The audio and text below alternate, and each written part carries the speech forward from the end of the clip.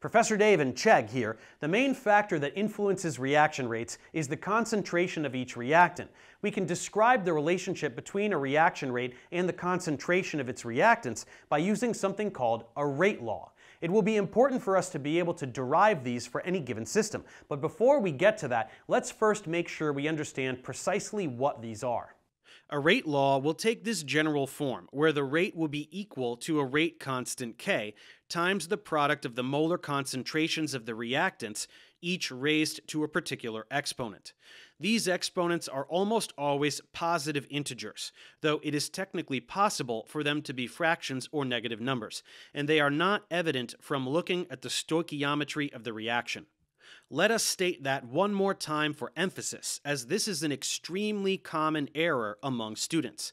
The exponents that we see here in the rate law are not related to and not necessarily equivalent to the stoichiometric coefficients from a balanced equation. Instead, these exponents must be determined experimentally. The rate constant is independent of these concentrations, but it does depend on other parameters like temperature and surface area.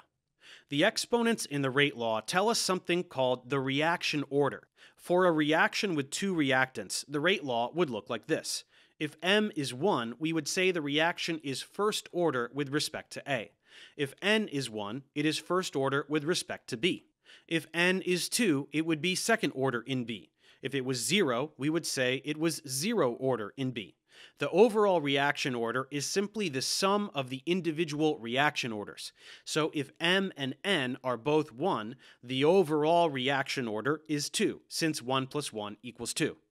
Here are some examples of rate laws with the reaction orders listed. Let's make sure we can write these as they will be important in our study of kinetics.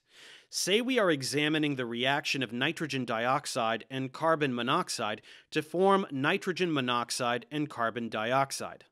If we acquire kinetic data and find that the reaction is second order in NO2 and zero order in CO, what will be the rate law for this reaction?